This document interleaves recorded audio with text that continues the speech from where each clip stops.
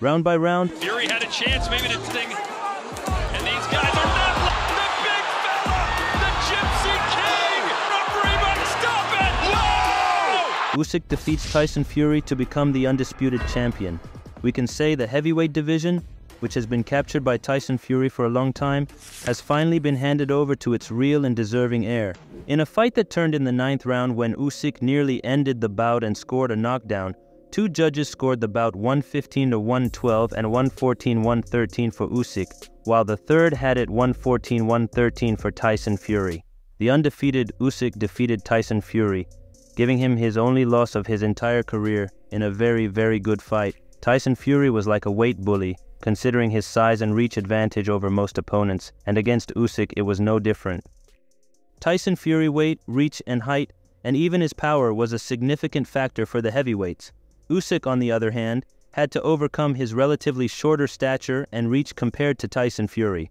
They both traded punches, but Fury's power and size gave him an initial advantage. This fight marked the first time since the rematch between Evander Holyfield and Lennox Lewis in 1999 that an undisputed heavyweight champion has been crowned, making it a historical moment, and Usyk proved he is now the baddest man on the planet. Tyson Fury claimed it was a robbery. He thought he won the fight and attributed the decision to the situation in Ukraine. That's delusional. Usyk clearly dominated most rounds.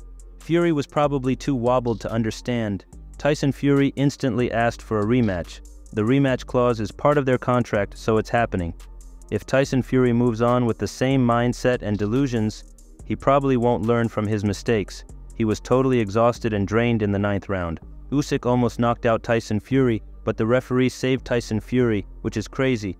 With this bout, I don't understand how this keeps happening. This isn't unusual in boxing, like when someone is about to knock out another fighter, the referee intervenes and starts pulling the person who's getting beaten back, like in the recent example of Ryan Garcia versus Devin Haney fight. If the referee didn't intervene, the knockdown was certain. Usyk's left hand on Fury would have probably gone out and knocked him down, because Fury didn't see the punch. The punch was full power going downward, which is stronger than throwing a punch upward.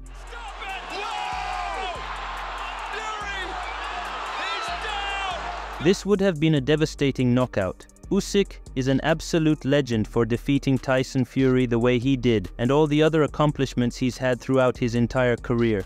Tyson Fury's reach was not easy to overcome for Usyk. Usyk seemed reinvigorated to open round 9, which was a pivotal one for the Usyk. He returned to pressuring Fury and connected flush with a big left hand with Fury against the ropes. A huge left hand had Fury in trouble, and Usyk sensed that Fury was hurt and went for the finish, connecting with several hard punches and combinations. Fury was visibly hurt. Although Usyk didn't finish Fury, he shifted momentum in the fight for good. He swept round 8-10 on all three scorecards to pull away down the stretch. Fury won the final round unanimously, but then it was too late.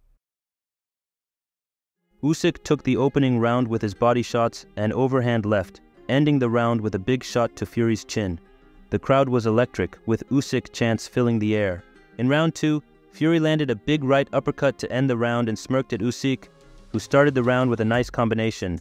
A close one, but Fury edges it 10-9, leveling the score at 19-19.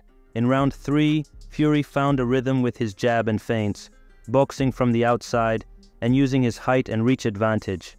Usyk pressed forward with body shots, making for a great fight through three rounds. Fury takes the round 10-9, leading 29-28. In round 4, Fury pumped his jab with great success, and his money punch, the right uppercut, found its mark. Usyk struggled to get past the jab consistently, but found success with his overhand left. A close round, but Fury takes it 10 to 9, leading 39 to 37. In round 5, Fury continued working Usyk's body, and Usyk's now cut over the right eye. Fury's looking to take control in this competitive fight, taking the round 10-9 and leading 49-46. In round 6, Fury took control, throwing in combination and stunning Usyk at one point. Usyk's getting busted up, and Fury ends the round taunting him with his hands behind his back. A clear 10-9 round for Fury, who leads 59-55. In round 7, Usyk finally found his spark, landing an overhand left and a few more shots with Fury pinned in the corner. A close round, but Usyk takes it 10 to 9, trailing 68 to 65 on the scorecard.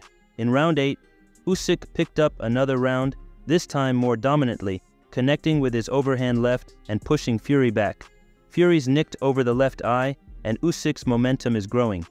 77-75 for Fury. In round 9, Usyk landed 14 flush shots and wobbled Fury around the ring, finally sending him crashing against the ropes. And these guys are not letting us down. Fury's in trouble. Stumbling into the place. Do you the big fella, the Gypsy King? Freeman, stop it! Whoa! He's down. Fury beat the count, but the round ended before Usyk could follow up. A dominant 10-8 round for Usyk, leveling the score at 85-85. In round 10, Usyk didn't hurt Fury again, but he banked another round with his consistent pressure and overhand lefts. Fury needed to push Usyk back and use his size to his advantage, but Usyk's momentum was building. The scorecard read 95-94 Usyk. In round 11, Usyk continued to press and push Fury back despite being the smaller man. Fury's height and reach advantage were neutralized by Usyk's relentless pressure and precise punching. In round 12, the final round was a close affair, with Usyk landing more lefts and Fury connecting with a few good rights. Usyk takes the round 10-9, winning the fight 115-112 on the scorecard. This fight showed the place of Usyk where he stands, too powerful, even with the smaller reach compared to Tyson.